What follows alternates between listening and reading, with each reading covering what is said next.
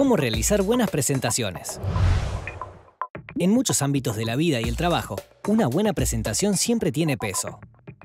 Pero, ¿cómo realizar buenas presentaciones? Las presentaciones digitales se utilizan como soporte visual de charlas, clases o presentación de ideas y proyectos.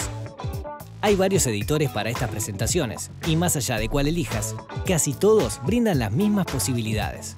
Un editor que permite editar texto y formato, herramientas para insertar y manipular imágenes y gráficos,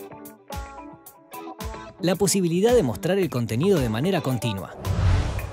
¿Cómo podés diseñar una buena presentación? Es clave que planifiques previamente el mensaje, idea principal e ideas secundarias, y pensar bien a quién va dirigido. Estructurar la información elaborando un guion que contenga introducción, desarrollo y cierre. Ten en cuenta el tiempo que durará la presentación. Y en lo posible, trata de que no haya más de 8 diapositivas cada 20 minutos de exposición.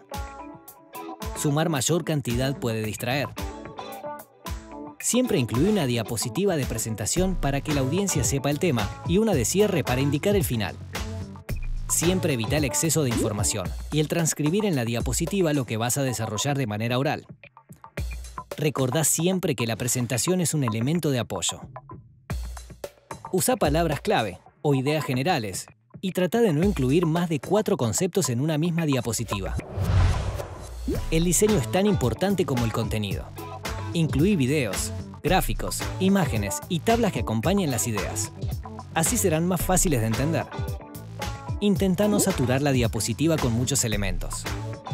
Todos los elementos de una diapositiva deben estar conectados visualmente y ser pertinentes.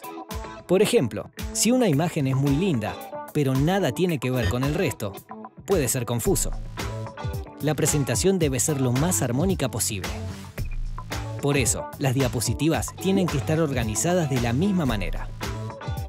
Ubica los títulos siempre en el mismo lugar. Así no se perderá el foco de atención. También podés ordenar los elementos usando guías y cuadrículas. Siempre intenta hacer una presentación armónica. Elegí colores simples, neutros y contrastantes. Los brillantes pueden distraer. Usa tipografías simples y siempre la misma a lo largo de la presentación. Ten en cuenta el tamaño de la tipografía que utilizás. Si es muy grande, vas a poder poner poca información. Y si es muy chica, hay riesgo de que no se pueda leer. Resalta lo importante. Pensá si es necesario utilizar animaciones o transiciones, y si las usás, elegí siempre las más simples. Finaliza tu presentación con una frase de resumen o que invite a reflexionar sobre el tema.